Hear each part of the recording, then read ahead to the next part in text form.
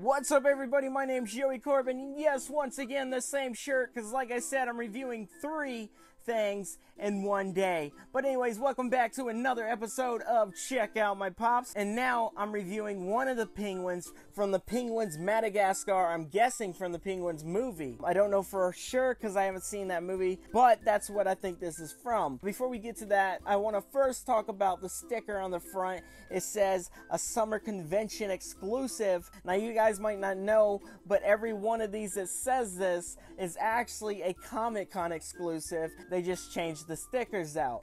Anyways, before we open this bad boy up, let's first take a look at the box like we always do. So here's the front of the box, here's the side, and here's the different ones that you can get from this series on the back. Alright, now let's take this bad boy out and check out all those awesome details. Alright, so here he is out the box, you guys. This one's name is Skipper, and as you see, it looks like he loves Cheezy Dibbles. As you can see, it's all over his face. I don't know why, but these penguins really love Cheezy Dibbles. So yeah, the details look really good. There is no overlapping paint from which I can tell.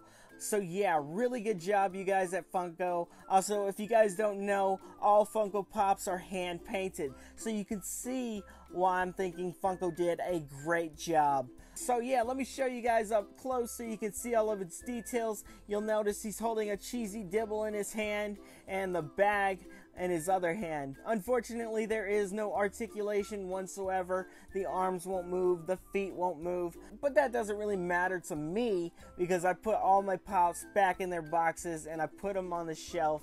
Sometimes on this shelf behind me, or the shelf in my room, or the shelf in my living room, which means, yeah, I have a lot of Funko Pops. I'm a huge collector when it comes to Pops. But yeah, let me know what you guys think. I think they did a really good job, and this is one of my favorite Pops. But yeah, I guess that's it for the review because there isn't really much more to talk about. Actually, before I end the review, let's first take a look, a 360 spin, so you can see all the details on the penguin.